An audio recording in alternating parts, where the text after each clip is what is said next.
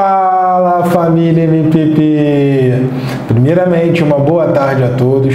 Sejam muito bem-vindos a mais uma estreia aqui no nosso canal. Para quem não me conhece, sou o professor Marcão. E sem mais delongas, vamos direto ao ponto. Olha aí na telinha. Correção do QUIS.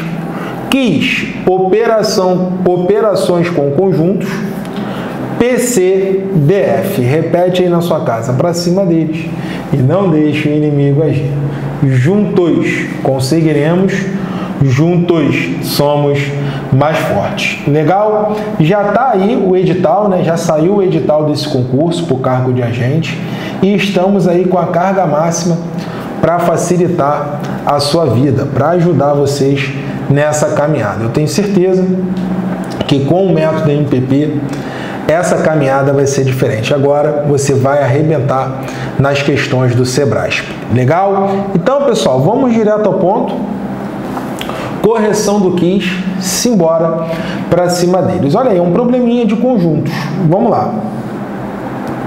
Simbora.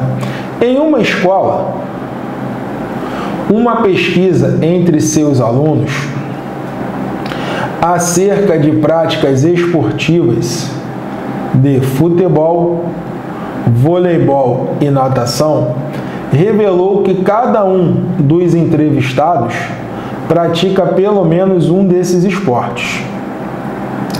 As quantidades de alunos entrevistados que praticam esses esportes estão mostrados na tabela abaixo. Com base nas informações, julgue o próximo item. Mais de 130 alunos praticam apenas duas dessas atividades esportivas. Deixa eu sair daqui do cantinho para você olhar o que o CESP está falando. Então, apenas duas atividades esportivas. Vamos lá, pessoal. Como é que eu sei que o probleminha é de conjuntos? Pessoal, todo probleminha de conjuntos traz uma ideia de interseção. Olha aqui na tabela. Futebol, voleibol e natação. Nove pessoas. Futebol e natação. 29 pessoas. Voleibol e natação. 17 pessoas. Voleibol e futebol. 113 pessoas. Então, todo probleminha de conjuntos traz essa ideia de interseção. Então vamos lá, montando aqui os diagramas para a gente matar a questão. Temos aqui três conjuntos, não é isso? Tem a galera do futebol,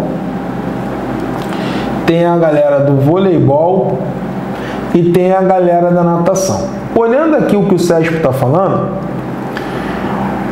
vamos analisar novamente essa informação. Mais de 130 alunos praticam apenas duas dessas atividades esportivas. Apenas duas seria essa região aqui, pessoal. Ó, apenas duas seriam essas regiões aqui. Então não preciso montar todo o meu diagrama eu preciso só daquelas três regiões ali que eu pintei. Apenas duas seriam essas três regiões. Então, vamos lá. Começando a brincadeira. Já sei que eu não preciso montar todo o diagrama. Agora ficou mais fácil. Vamos lá. Esse tipo de probleminha, começamos sempre pela interseção dos três. Dos três. Tá aqui, ó. 9 praticam o quê? Futebol, voleibol e natação. 29 praticam futebol e natação. Então, 29 seria isso tudo aqui. Ó. Seria isso tudo aqui. Só que eu já tenho ali dentro nove pessoas. Então, esse espaço em branco seria 29 menos 9, que vai dar quanto? 20, não é isso? Aí eu já vou apagar aqui para você visualizar melhor. Então, esse espaçozinho branco vale quanto? 20. Legal. Agora vamos lá. 17 17 voleibol e natação. Voleibol e natação. Seria isso tudo aqui, ó. Seria isso tudo aqui, ó. Só que eu já tenho nove pessoas ali dentro. Então, esse espaço em branco aqui, né, 17 seria aquilo tudo. Só que eu já tenho 9 ali dentro. Então, esse espaço em branco seria 17 menos 9. Quanto é que dá 17 menos 9, pessoal?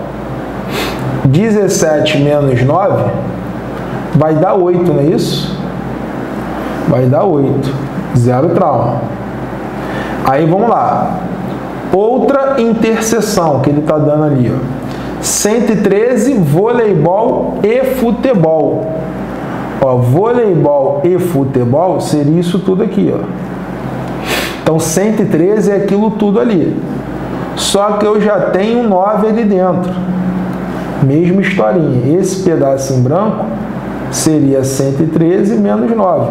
Quanto é que dá 113 menos 9? Vai dar 104.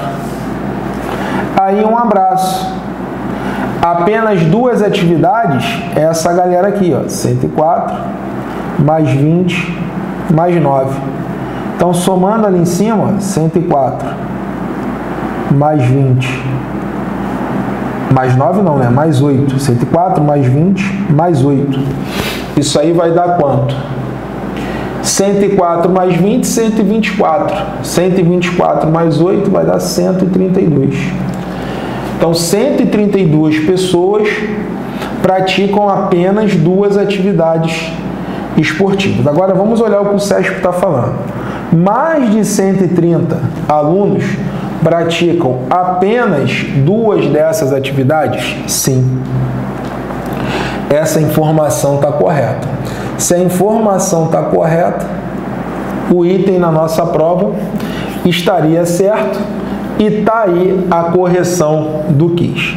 Legal? Zero trauma? Deixa eu voltar aqui para a gente trocar uma ideia. Então, para quem não conhece o quiz, toda segunda e quarta publicamos nas nossas redes sociais uma questão né, de determinada banca para você tentar fazer. Né? É tipo um desafio. Né? Você tenta fazer e na, né, a ideia é que você tente fazer e na terça e na quinta corrigimos aqui no canal para você.